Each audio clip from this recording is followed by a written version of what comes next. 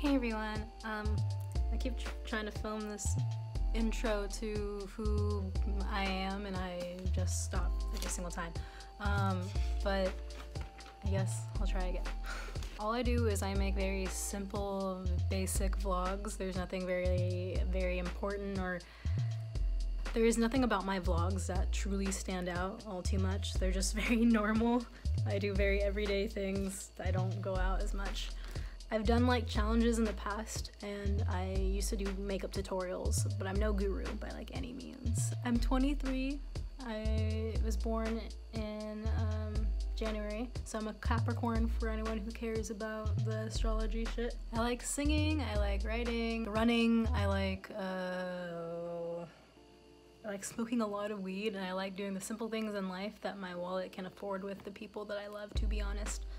As cheesy as that sounds. For my living situation, I live with my best friend of 11 years and my boyfriend of three years as, as of last December. Me and my best friend have been living together since 2019 of August, and my boyfriend and I have been living together since the end of 2018, I think. We have two dogs and two cats. Um, we have a Shih Tzu and a Chiweenier. They are mine, but they're our babies. We have two cats. Shadow is my boyfriend's and Ash is mine. My best friend and roommate has a hamster of two years. His name is Mose. And the reason why I'm doing YouTube is like, I'm just trying to have fun and I wanted to finally start making videos. I don't really know what I plan to do with all this, but I just really truly plan to have fun and experience life, have memory of it, capture good moments, and meet some cool people along the way. For a few YouTubers that like inspired me when I was younger. It was for sure a huge one was Damon Fizzy. The character he has always been has been